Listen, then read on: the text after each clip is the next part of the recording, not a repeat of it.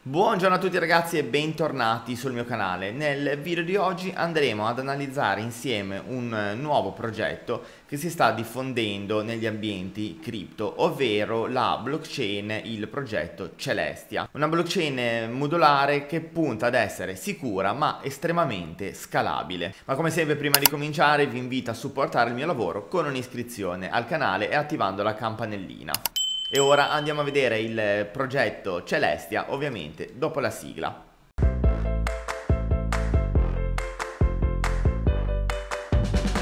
Siamo sulla pagina ufficiale del progetto Celestia, raggiungibile all'indirizzo celestia.org. Ma partiamo dal fondo, partiamo dai social, dove su Twitter il suo profilo conta più di 64.100 follower. Su Telegram conta 9.430 utenti nel momento in cui sto registrando il video e su Discord 35.475 utenti. Attualmente non ha ancora un token all'interno del progetto, ma il team ha già rivelato che per l'appunto implementeranno un token utility. Questo token verrà implementato all'interno del protocollo per proteggere la rete tramite il proof of stake e ovviamente per pagare le commissioni delle transazioni. E hanno già affermato di inserire un programma di bruciatura dei token molto simile all'AP 1559 di Ethereum, in modo che le commissioni che vengono generate e bruciate compensino l'emissione di nuovi token man mano che Celestia ottiene maggiore adozione. Attualmente secondo la roadmap siamo nella testnet release e nel 2023 dovremmo vedere il lancio della mainnet. Passiamo dal team, team come potete vedere molto molto corposo, ben schedulato e, con, e dalle ottime referenze e ovviamente come sempre vi invito ad andare a visionare in autonomia la veridicità di queste informazioni. Partendo dal CEO che ha ottenuto un dottorato nella ricerca della blockchain ed è cofondatore di Chainspace. Ismail che è il CTO di Celestia che è un ex ingegnere senior presso Thunderman e Interchain Foundation.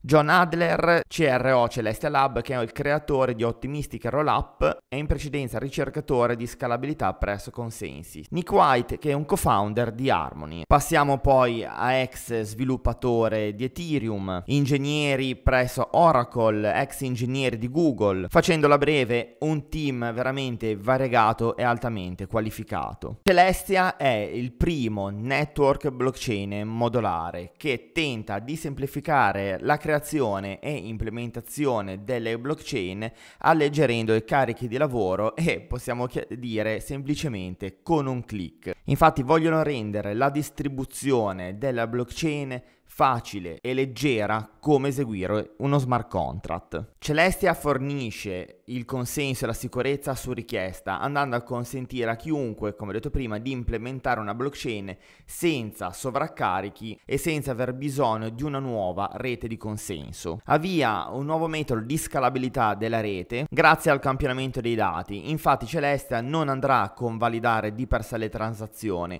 e il suo throughput non è ostacolato dall'esecuzione dello Stato stato con le, delle reti blockchain tradizionali. Celestia è in grado di scalare all'aumentare del numero di utenti, i nodi leggeri della rete, e ovviamente la sua sicurezza rimane tale finché ci sono abbastanza nodi sulla rete per andare a campionare gli interi blocchi. Questo significa che man mano che più nodi si uniscono alla rete e vanno a campionare i blocchi, la dimensione del blocco può aumentare, di conseguenza senza andare a sacrificare la sicurezza o il decentramento. Questa caratteristica andandola ad implementare su una blockchain tradizionale vorrebbe dire andare a sacrificare la decentralizzazione, perché un aumento della dimensione del blocco andrebbe a creare un requisito hardware maggiore per i nodi per scaricare e verificare i dati. Celestia come abbiamo potuto capire è una blockchain layer 1 molto minimalista che cercherà di facilitare gli utenti, gli sviluppatori di implementare la propria blockchain e anche di creare una blockchain interoperabile con altre chain e sarà altrettanto facile riuscire a interagire e implementare anche i layer 2 rollup. Celestia non va a imporre una logica di esecuzione e lascia spazio agli sviluppatori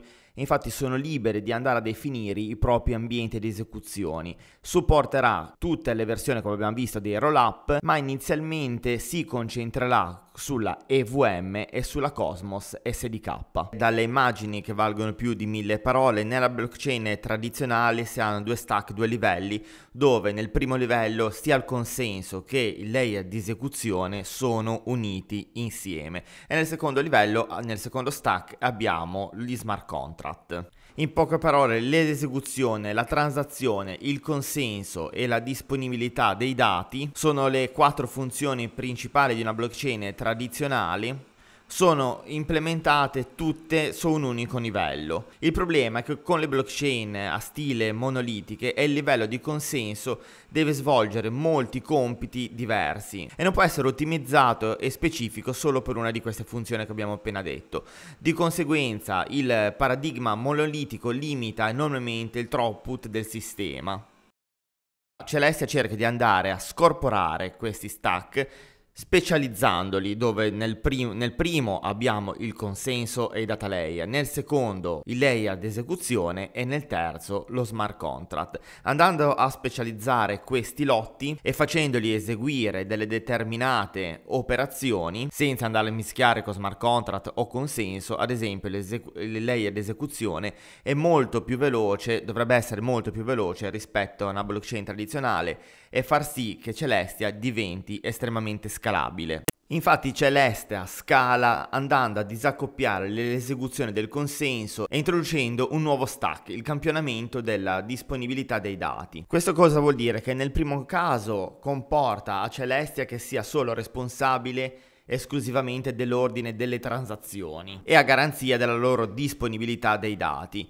Per quanto riguarda il campionamento della disponibilità dei dati, va a dare una soluzione molto efficiente al problema di questa disponibilità, andando a richiedere solo ai nodi light, quindi ai nodi leggeri con risorse limitate, di campionare un piccolo numero di blocchi casuali. È interessante notare che un numero maggiore di nodi light che partecipano al campionamento aumenta la quantità di dati che la rete può gestire in sicurezza, andando a consentire di aumentare aumentare la dimensione del blocco senza aumentare il costo per la verifica. Poi nell'effettiva realizzazione di tutto il suo ecosistema quando sarà in eh, mainnet, se questo progetto ambizioso potrà avere il suo spazio, potrà attirare consenso, attirare investitori, sviluppatori e anche utenti per quanto riguarda il lato token. Soffermandoci per un attimo sul lancio del loro token utility, sarà un ICO e al momento non abbiamo neanche una tokenomics, quindi non sappiamo nel dettaglio in che modo verrà implementato il token, quanto sarà il rifornimento circolante iniziale, anche se avendo